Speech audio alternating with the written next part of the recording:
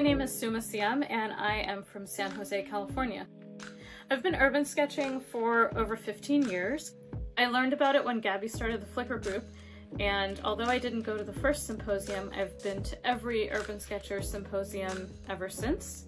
After I attended a symposium, I pretty much got hooked on urban sketching and um, started volunteering. I joined the executive board as a secretary and later went on to serve on the advisory board and still do.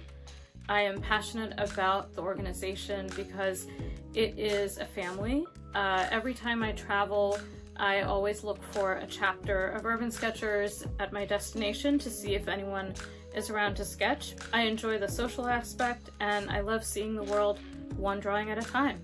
I give to Urban Sketchers because I want this organization to grow and continue promoting the joy of sketching on location. Our motto is meet, sketch, share, and I love every aspect of that. If you're new to urban sketching, I would just say get a pen or pencil, get a piece of paper, find a chapter and dive right in. It is such a welcoming group. Um, you can be a beginner, you can be intermediate, you can be someone who has uh, done art in a studio uh, for years, or someone who's completely new to sketching and to art, and everyone is welcome.